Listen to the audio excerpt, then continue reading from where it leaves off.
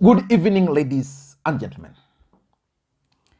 There is one question which have consistently been asked, actually severally, on this platform. The whereabouts of two individuals. Kipchumba Murkomen, the senator for Elgeyo Marakwet, and the vocal member of parliament, Oscar Sudi. Where are these two gentlemen? Several people have asked me whether these two gentlemen have ditched the Deputy President, Dr. William Samoei.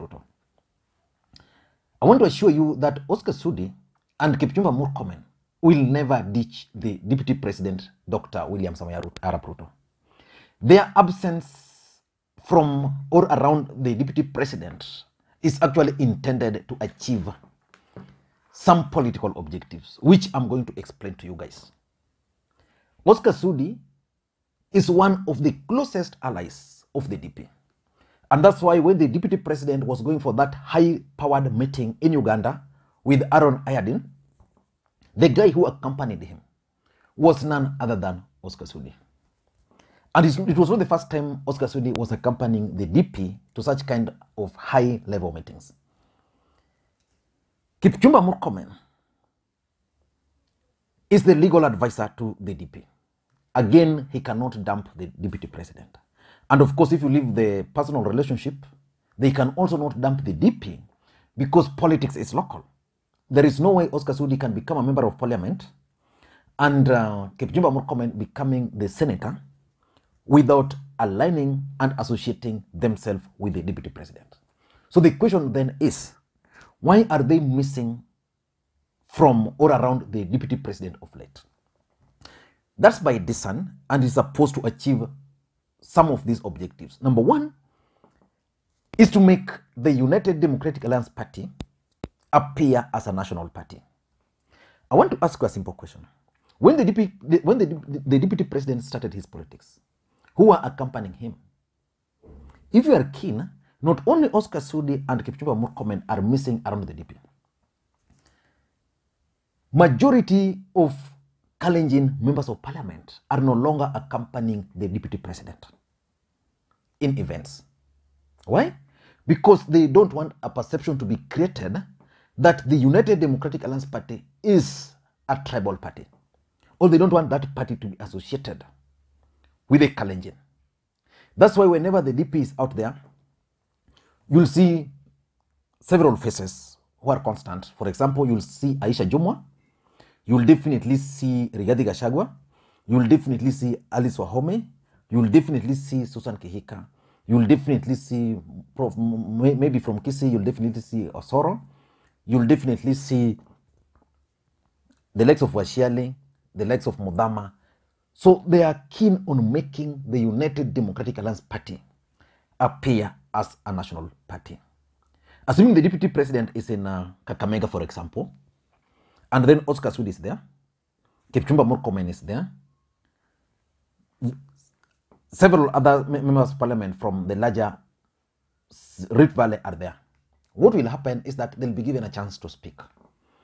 And since they'll be given a chance to speak, their names, because our politics is stable, their names will be noted as Kalenjins. And that is something that the DP is trying so hard. And that's why the deputy president has been consistent that the alliance is forming, the United Democratic Alliance, is basically a national alliance. So he doesn't want it to appear as a tribal politics because it's very easy, for example, to, to brand UD, UDA as a tribal polit- uh, I mean, as a tribal party if these guys were making public appearances around the DP.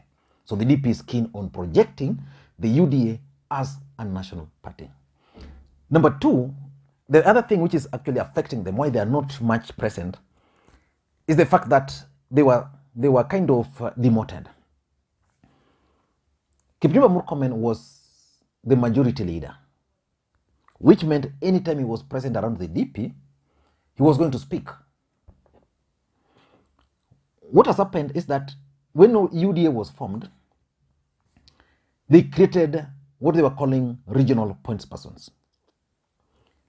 In uh, Rift Valley, for example, Josephat Nanok is the regional coordinator or the regional points person. So it means if Kipchumba Murkomen were to attend a function and they reduce the number of speakers, he might not get that chance of speaking.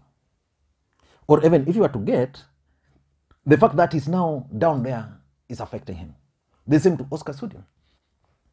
I tend to think that the deputy president has now decided that for Rift Valley, is going to use Josephat Nanok as the regional point person and as the key person.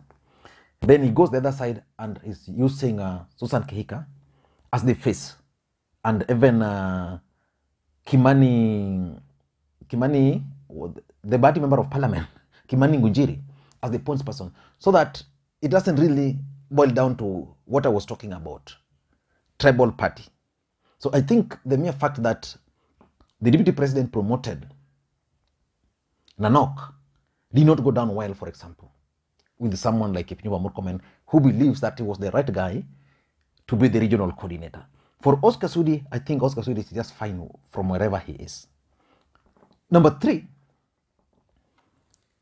if you've been following the politics of these two gentlemen, Oscar Sudi, of three, the three gentlemen, Oscar Sudi, William Ruto, and Kipchumba Murkomen, there are specific roles they perform. Oscar Sudi, for example, is normally tasked with responding to specific issues. If there's something that the DP wants to come out and he can't say it, Oscar Sudi will always be asked to go online, live.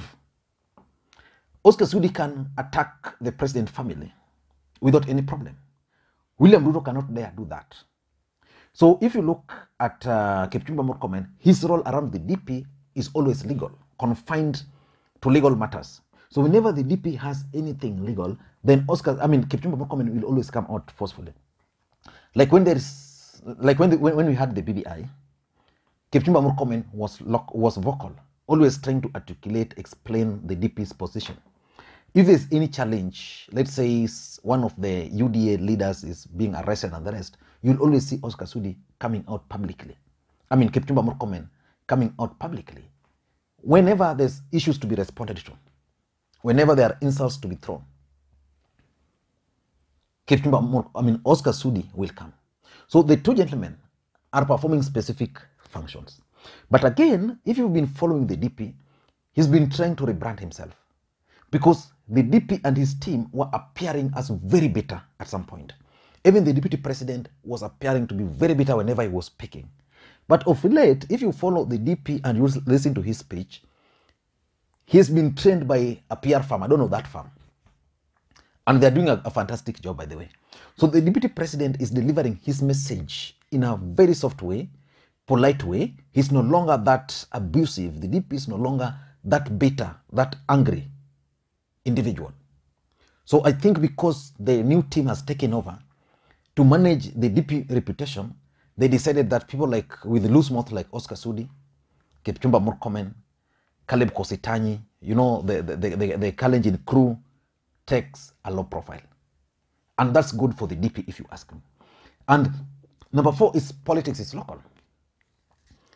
The truth of the matter is that 85% or 86% of members of parliament, senators, and governors normally don't make it back to parliament. The biggest casualties are always those close to the boss. Like Raila Odinga, his close allies will always be around him. By being around him, it means they lose touch to the ground or with the ground.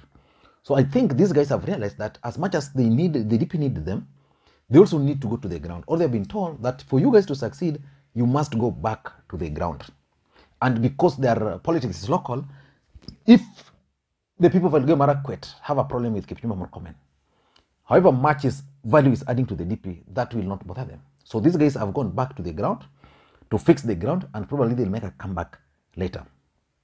And lastly, I also tend to think that there is serious problem in Team Tanga Tanga in Rift Valley.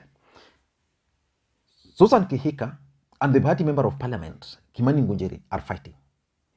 Right? Now, you go in, in central Kenya, Rigathi Gachagua, Moses Kuria are fighting to an extent that Moses Kuria has left. You can't tell me that in Rift Valley there are no fights. In Nyanza here, for example, Eliud Owalo and Obado are also in fight, competing on who should be the coordinator or the contact person. You go to the coastal region, Hassan Omar and Aisha Jumwa, to some extent, are also involved in political fight over the UDA, who should be the contact person. So that cannot be ruled out in the larger Rift Valley. So because of those frictions, I think the DPS decided that you guys sort out your issues, go to the ground, mchukue low profile, as I look for votes.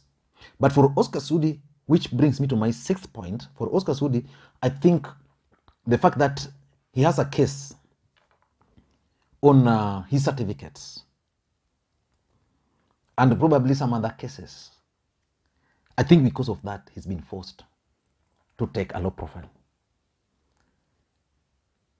Oscar Sudi might be locked out. He might not get the certificate of good conduct if he's not careful.